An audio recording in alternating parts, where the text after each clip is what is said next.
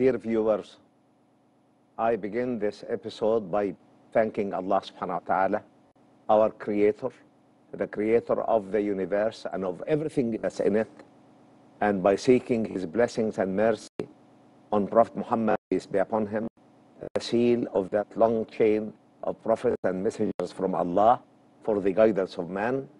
And uh, by greeting you all in our Islamic way, Assalamu alaikum wa rahmatullahi wa barakatuh. May Allah's peace, blessings, and mercy be you all. This episode is uh, mainly directed to a very delicate problem, very critical problem to man, because I would like to discuss the problem of creation.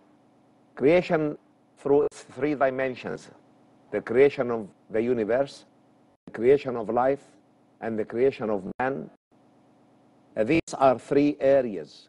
If anybody enters into them without divine guidance, he enters into a dark tunnel with no end. The Quran tells us, بسم الله الرحمن الرحيم, ما أشهدتهم خلق السماوات والأرض ولا خلق أنفسهم ما كنت متخذ المضلين witness the creation of the heavens and the earth, uh, nor the creation of themselves. And I was not to take the misleaders as my attendants. So the creation of the heavens and earth, the creation of life, and the creation of man has not been witnessed by any one of us.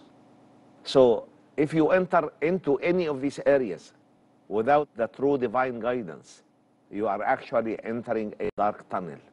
On the other hand, the Quran is asking us to look into creation. The Quran reads, قل سيروا في الأرض فانظروا كيف بدأ الخلق. O mankind, walk on earth and see how did Allah begin his creation. If we combine these two verses together, and many Quranic verses are alike, we can see clearly that despite the fact that none of us has witnessed the process of creation with three dimensions the creation of the universe, the creation of life, and the creation of man, yet Allah, all glory be to Him, through His mercy, has left in the universe, in the firmament, and on the earth many signs that can help man to reach a rational conclusion. if you enter that area negating the creator you can never reach anywhere and i will give an example by uh, five verses five quranic verses that describe clearly the process of the creation of the universe the annihilation of the universe and the creation of the universe the quran reads والسماء بنيناها بأيد وإنا لموسعون Verily, we have built the firmament with great might, and verily, we will keep expanding it. No man worth his salt has ever dreamt of the fact that we are living in a steadily expanding universe.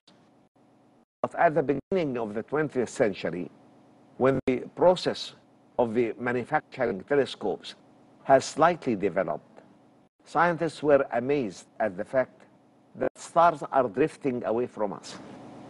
And this has created a havoc. How come the stars are drifting away from us? Where is the law of gravity? What can keep these stars in their fixed positions? And towards the uh, first third of the 20th century, astronomers came to realize the fact that it is the galaxies that are drifting away from each other. Where? To testify to the fact that Allah can create out of nothing and can annihilate to nothing. And the relationship of the stars within each galaxy is very precisely controlled. And scientists came to realize towards the middle of the 20th century that we are actually living in a steadily expanding universe. The Quran, a book revealed more than 14 centuries to an unlettered prophet, peace be upon him, in an unlettered society, spelled this fact so clearly and so loudly والسماء بنيناها بأيد وإنا لموسعون the firmament we have really built with great might and really we will be steadily expanding it who would have known this more than 14 centuries ago other than the creator himself who would have forced Muhammad peace be upon him to speak about unknown things in his time unless Allah knows in his eternal knowledge that time will come when man will discover this fact and this simple verse the glorious Quran and the correct prophethood of Muhammad peace be upon him the Quran says بسم الله الرحمن الرحيم أولم يرى الذين كفروا أن السماوات والأرض كانتا رتقا ففتحناهما وجعلنا من الماء كل شيء حي أفلا يؤمنون The Quran reads having the unbelievers seen that both the earth and the firmament were a singularity, a single entity. Then we broke them asunder. Uh, and we have made out of water every living thing. Uh, isn't that enough for them to believe in the Creator? The fact that man discovered the expanding nature of the universe made astronomers uh, say that if we go against time, this vast, immense, orderly universe will coalesce into a singularity, into a single point that's so minute that it cannot be seen, so dense that it cannot be measured. At this point, all the laws of physics and quantum physics stops to react. And actually, it's nothingness. This vast, immense, orderly universe out of nothingness. And they call this theory of the Big Bang or the Big Bang theory. And we as Muslims support this theory not because scientists have reached a, a final conclusion in it, but because of this Quranic notion, having the unbelievers seen that both the earth and the firmament were a singularity in their early history. Then we broke them asunder, and we have created from water every living thing. Isn't this an enough evidence for them to believe in Allah? And uh, scientists disagree about the expansion of the universe. But before I discuss that, the Quran says, ثم استوى إلى السماء وهي دخان فقال لها وللأرض ائتيا طوعا أو كرها قالتا أتينا طائعين Allah, all glory be to him, came to the firmament while it was just smoke. And then he ordered both the earth and the firmament. They said, we will come into willing obedience. This uh, cosmic smoke has been recently photographed by uh, the uh, Hubble telescope after leaving the area of clouds and the area of pollution. And actually, it proved it to be smoke. And astronomers used to talk about um, a cloud of dust, a cloud of uh, minute particles. And it came to be smoke, as the Quran has spelled it out. And scientists disagree about the expansion of the universe. Will the universe keep expanding all the time to no end? Of course, unbelievers claim that. But actually, we notice that the temperature of the universe is dropping. The universe started by billions of degrees centigrade. And the temperature of the universe, where we look, is a constant temperature of minus 3 degrees absolute. This means that the temperature is actually uh, decreasing. And if the temperature is decreasing, this means that push, outward push of the universe is also decreasing. And if that outward push will be less than gravity, gravity will cause that universe to collapse. And they call this the big crunch. And we as Muslims support the big crunch theory, not because astronomers have reached final say in it, but because there is عن كتب كما بدأنا أول خلق نعيده وعدا علينا إن كنا فاعلين The day will come when we roll up the firmament in exactly the same way a scroll rolls up whatever is written in it, or a book uh, cover would roll up whatever is written in it. Uh, وعدا علينا إن كنا فاعلين. Verily, we will fulfill that promise. And uh, I'll stop here for a short break and we'll come back to this verse. So wait for us. Welcome back, dear viewers. Before the break, I mentioned this wonderful cosmic verse in the Quran, which reads, يوم نطوي السماء كطي السجل للكتب كما بدأنا أول خلق نعيده وعدا علينا إن كنا فاعلين. The day will come when we will roll up the firmament in exactly the same way a scroll rolls up whatever is written in it, or a book uh, binding or cover can roll up whatever is written in it. كما بدأنا أول خلق نعيده. In exactly the same way, we have initiated the first creation. We'll repeat it. كما بدأنا أول خلق نعيده وعدا علينا إن كنا فاعلين. A promise upon us, uh, verily we will fulfill it.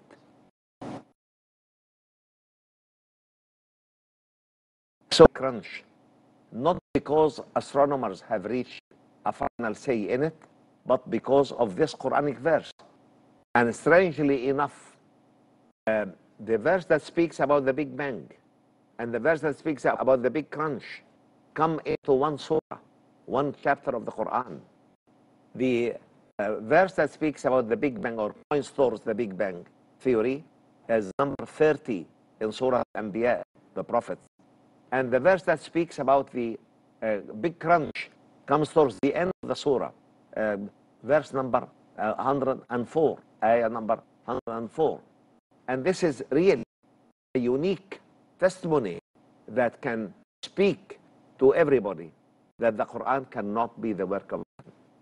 So يوم نطوي السماء كطي السجل للكتب كما بدأنا أول خلق نعيده وعدا علينا إن كنا فاعلين the day will come when we will roll up the firmament in exactly the same way a scroll rolls up whatever is written in it, or a book binding can roll up whatever is written in it. In exactly the same way, we have uh, started the first creation, we'll repeat it, كما بدأنا أول خلق نعيده وعدا علينا إن كنا فاعلين a promise upon us verily we will fulfill it. This verse is also unique any, but also points to a fact that cannot be reached by any human being. People who speak about the Big Bang and the Big Crunch also differ amidst themselves. Some say this is the end of everything, and others say this is a continuous process. Big Bang followed by Big Crunch, Big Crunch followed by Big Bang, and so on. And the Quran has here established a fact that cannot be reached by human being. كما بدأنا أول خلق نعيده. In exactly the same way, we have created the first creation of the universe. We will repeat it. This means that the Big Crunch will be followed by only one Big Bang that will change everything in smoke. From that smoke, a different earth will be created instead of our earth, and different firmaments will be created other than the current firmaments. And because of this, Quran says, كما بدأنا أول خلق نعيده. Exactly the same way we have initiated the first creation, we will repeat it. And this is confirmed by another Quranic verse. يوم تبدل الأرض غير الأرض والسماوات وبرزوا لله الواحد القهار. The fact that the big crunch will be followed by a second big bang only changes everything in smoke. And from that smoke, Allah will create a different earth from ours. It has to be a much bigger earth to accommodate the billions of human beings that preceded us after us until the end of this world. So it must be a much bigger earth. And that's why he says here, يوم تبدل الأرض غير الأرض والسماوات. When the day will come when the earth will be replaced by another earth and the firmament with other firmaments. وَبَرَزُوا لِلَّهِ الْوَاحِدِ الْقَهَّارِ And then every living being will be resurrected for the day of judgment. So in five verses, the glorious Quran has settled a very critical area that can never ever be settled by man. The first verse speaks about the expansion of the universe. وَالسَّمَاءَ بَنَيْنَاهَا بِأَيْدٍ وَإِنَّا لَمُوسِعُونَ Verily, the firmament we have built with great might, and verily we will be steadily expanded. And science comes at the beginning of the 20th century to prove that we are living in an expanding universe. This uh, discovery um, actually um, received lots of arguments by scientists and was not settled until the end of the first third of the 20th century. Then the Quran uh, reads, أولم يرى الذين كفروا أن السماوات والأرض أفلا يؤمنون Having the unbelievers seen that both the earth and the firmaments were singularity, which we have broken asunder, and uh, verily we have made out of water every living thing. Uh, isn't that enough evidence for them to believe? And then the Quran reads, ثم استوى إلى السماء وهي دخان فقال لها وللأرض ائتيا طوعا وكرها قالتا أتينا طائعين when Allah uh, settled in a way that suits his glory uh, above the firmament when it was all smoke and then he ordered both the earth and the firmaments to come into being willingly or unwillingly they answered we will come in willing obedience and this smoke has been recently photographed by the Hubble telescope and before this discovery uh, astronomers used to talk about a, cloud of dust, a cloud of uh, fine particles. They never said smoke. And the Quran, a book revealed for more than 14 centuries ago, speaks about smoke. And this smoke has been actually photographed. Uh, scientists agree about the expansion of the universe.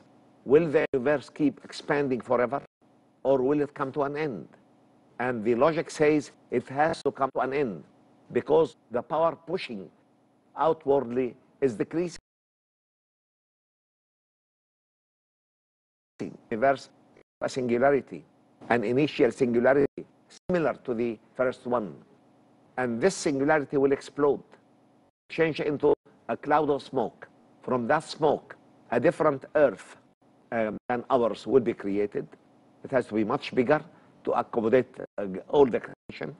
And different firmaments will be created. And from that new earth, which will contain every single atom of the previous earth, uh, every human being and every form of life will be resurrected, and uh, everybody will be pushed to the day of judgment. And after uh, getting uh, the judgment, there will be eternity in life to come, either in paradise forever or in hell forever. And as I said, the Big Crunch theory, the Big Bang theory are accepted by Muslims, not because astronomers have reached a final goal in them, but because of these notions in the Quran, al-Anbiya, and as I mentioned earlier, the fact that the verse that points towards uh, something similar to the Big Bang and the verse that points to something similar to the Big Crunch come into one surah, Surah Al-Anbiya. Beginning of the surah, ayah, verse number 30, and the Big notion comes into towards the end of the surah, uh, 104.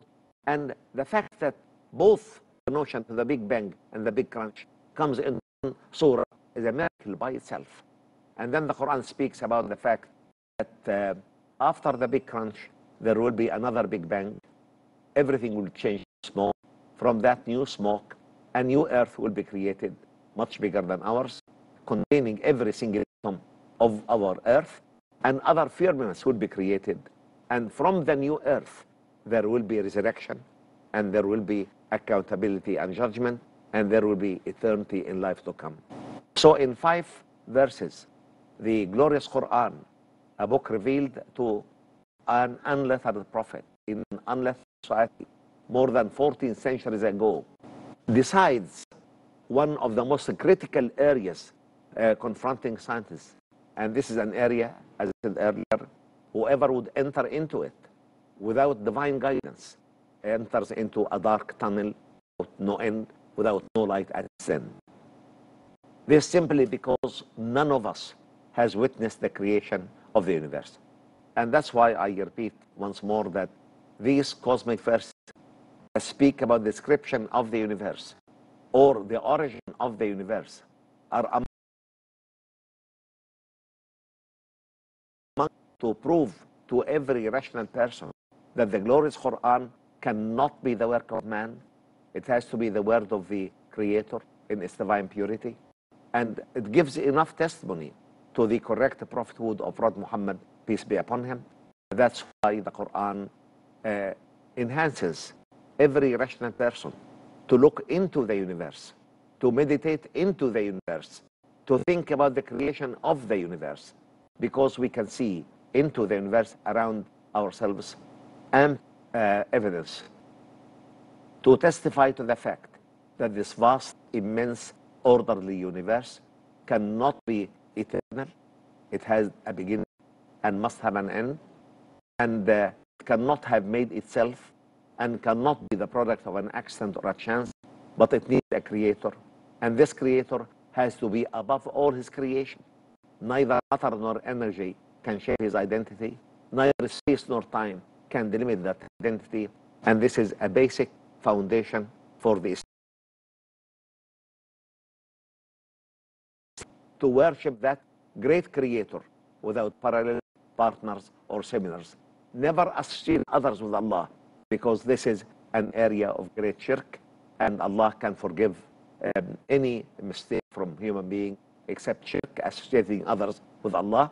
And every single messenger from Allah from Adam to Muhammad peace be upon them all came with this notion worship Allah alone without parallels partners or sisters. And Allah may lakum min ilahin you have to worship your creator without parallels partners or you have no other deity other than Allah subhanahu wa ta'ala.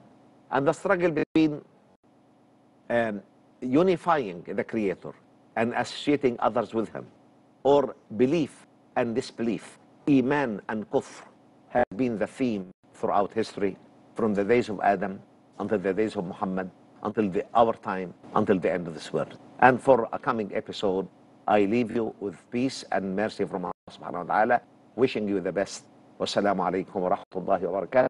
May Allah's peace, blessings, and mercy be with you all.